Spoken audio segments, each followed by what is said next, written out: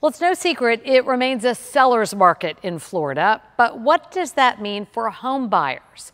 New numbers from the Federal Reserve Economic Data shows that housing inventory has dropped by roughly half since last year, and a study last month from FAU says costs are almost 22% above their long-term trend. That equates to a smaller and higher priced inventory. So the question is, should you buy or wait? And when is the turnaround? WPTV News Channel 5's Arthur Mondale reports on the tough decisions in this market.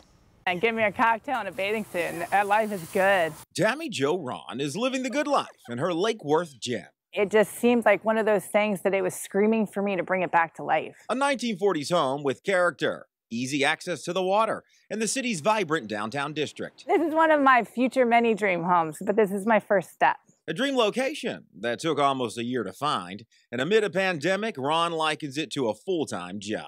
It took up every free minute of my time. It was work, take care of my kids, look for a house. If you find a home that works for you, strike now while the mortgage rates are low and you'll get the biggest bang for your dollar.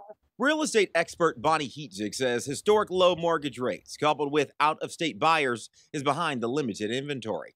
This chart from the Federal Reserve economic data shows just how low it's got. So it is challenging. Heatzig says the summer months up to around Labor Day would give buyers a better inventory to navigate. Transactions are still ongoing, but it doesn't seem to be at that high rate that we usually see during other times of the year. She also advises home buyers to work with a realtor who has mastered the art of the bid. Oh, minimize your contingency periods. That would be for your inspection and your appraisal periods. And have all of your mortgage documentation, pre approvals in line, ready to accompany your offer. And lastly, if you're a buyer on the hunt waiting for these market prices to drop, some experts say don't bother. Demand comes with a cost. Arthur Mondale, WPTV News Channel 5.